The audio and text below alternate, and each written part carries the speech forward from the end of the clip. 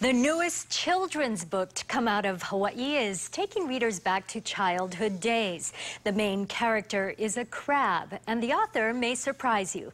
Ron Mizutani reports.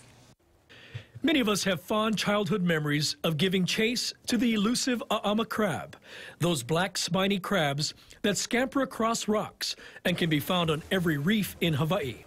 Even songs have been written about their existence, and now you can add a children's book.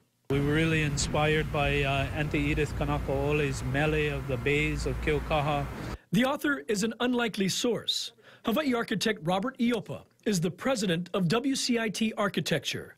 Last month, the firm launched Mo'o Studio, its new publishing arm, to celebrate the stories of Hawaii.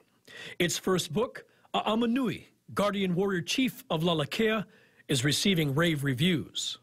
Uh, the book was really inspired by trying to showcase culture and history in design. So people in place and the mo'olelo of our place, of our islands, and how that can be inspirational to architecture.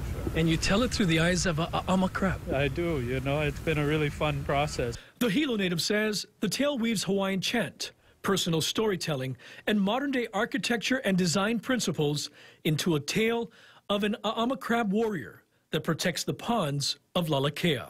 Perhaps the second future. Yeah, no, we really, we call it an architectural book series for children. So we're already writing book number two. It's about the College of Hawaiian Language, Haleolelo, that we designed in Hilo. And we'd really like this to be a series of stories that showcase how we approach design and how we've approached design here in our communities in Hawaii.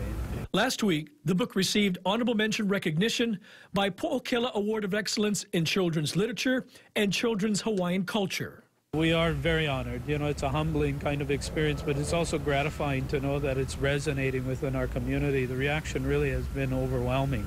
Inspired by a little critter that continues to amuse Island Keiki. Ron Mizutani, KHON 2 News.